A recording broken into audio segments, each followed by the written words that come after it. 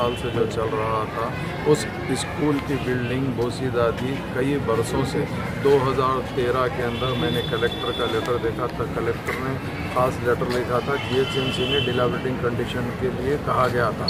उसमें ये कहा गया, कलेक्टर साहब की तरफ़ से, बिल्डिंग गिर सकती है, लिहाजा उस बिल्डिंग को हमको शिफ्ट करना बेानतहा ज़रूरी है।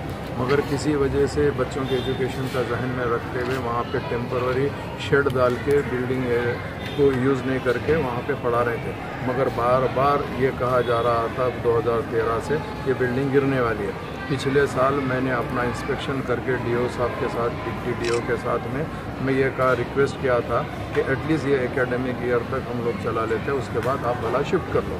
तो वो जैसे ही वो स्कूल शिफ्ट करने की बात आई तो, तो कुछ सियासी लोग जो अपने आप को सियासी जमात के नुमाइंदा कर कहते हैं वैसे लोग अपने पर्सनल इंटरेस्ट के खातिर आके स्कूल्स के अंदर भी मदाखलत करते हुए स्कूल की बिल्डिंग जो अच्छे से शिफ्ट हो रही थी जैसा Humayun Nagar two primary school जो सुबह चलता था, उर्दू मीडियम उसको बाजू जेबा बाग के अंदर गवर्नमेंट प्राइमरी स्कूल कामाटीपुरे में शिफ्ट किया गया। वो उर्दू मीडियम स्कूल है और हाई स्कूल जो है ना, मल्लापल्ली वन, मल्लापल्ली के अंदर शिफ्ट किया गया है।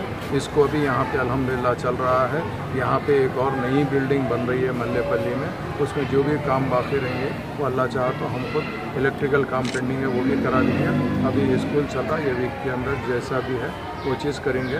तो मैं आपके चैनल के ज़रिए से ये कहना चाहता हूँ कि मजलिस इतिहादमसलिमिन नफीब मिलत बैरिस्टर असदुद्दीन अवैसी साहब की सदारत में और हबीब मिलत जनाब अकबरुद्दीन अवैसी साहब की क़्यादत के अंदर हम लोग एजुकेशन और हेल्थ पे ज़्यादा दिलचस्पी रखते हैं और तवज्जो देते हैं।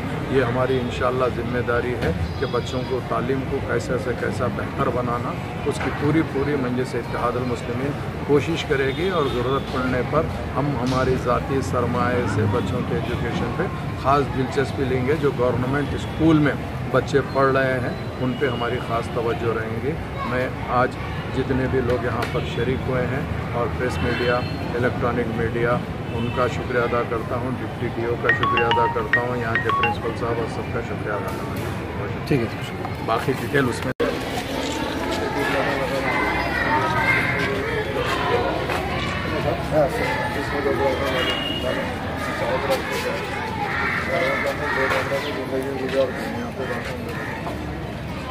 मैडम सर मेरे सर बात करते मैडम नाम पर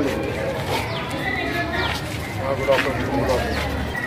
मैडम मैं अभी आ गया है इंस्पेक्शन इसमें जो मल्लापल्ली मीडियम वन स्कूल है दो रूम्स बने ना मैडम। हाँ, उसमें जहाँ पर प्राइमरी शिफ्ट करेंगे बच्चा सोच रहे हैं। इसी को अभी इसमें हाई स्कूल में करते थे अगर उसको फ़ैन और तो मैं जाके लगा दूँ